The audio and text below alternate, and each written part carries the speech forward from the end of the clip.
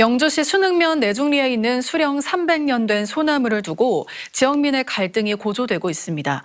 소나무의 소유주인 우계 이씨 문중은 조경업체에 나무를 팔았고 업체는 서울로 소나무의 반출을 시도하다 나무를 지키려는 시민들에 의해 가로막혀 반출이 중단된 상태입니다.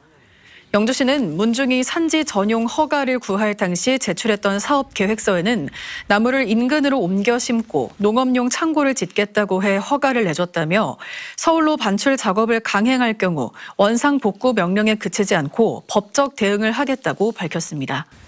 하지만 산지관리법 위반에 따른 벌금형이 소나무 매입 값보다 적은 천만 원에 그쳐 업자가 반출을 강행할 거라는 분석도 나옵니다.